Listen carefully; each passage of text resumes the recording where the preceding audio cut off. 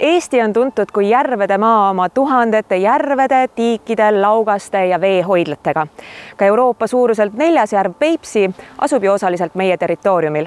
Tallinna Ülikooli teadur Egert Vandel, miks meil on vaja kaardistada järvi ja kuidas seda teha?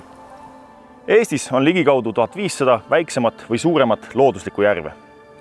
järve kui ökosüsteemi kirjeldamiseks on üheks vahendiks järve sügavuskaart, mille kaudu on võimalik välja arvutada järve nõo kirjeldavaid parameetreid, nagu näiteks keskmine sügavus, pindala ja maht. järve nõo morfoloogia on oluline, sest see mõjutab temperatuuri, toitainete ja gaaside jaotumist järve veesambas, mis omakorda mõjutab järve elustiku ja ökosüsteemi toimimist. Eestis on uuritud järvi juba üle sajandi, kuid kahjuks enamus järvede kohta puuduvad sügavuskaardid ja olemasolevad sügavusmõõdistusandmed ei pruugi kohati olla usaldusväärsed ebakõla tänapäevaste ja ajalooliste mõõdistustulemuste vahel tuleneb peamiselt metoodilistest erinevustest.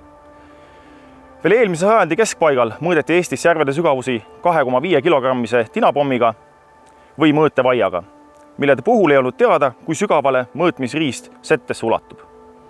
tänapäeval kasutame me järvede kaardistamiseks sonareid, mis on oluliselt täpsemad ja fikseerivad vee sügavuse sette piirilt kaasaegsed tehnoloogiad ja metoodikad võimaldavad järvede täppiskaardistamisi, mis võimaldavad meil saada oluliselt detailsemaid ja kvaliteetsemaid andmeid.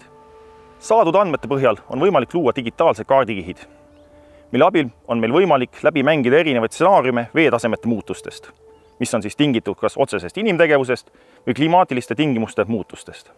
saadud tulemused võimaldavad prognoosida võimalikke muutusi järve ökosüsteemis ja järve kohanemist nende muutunud tingimustega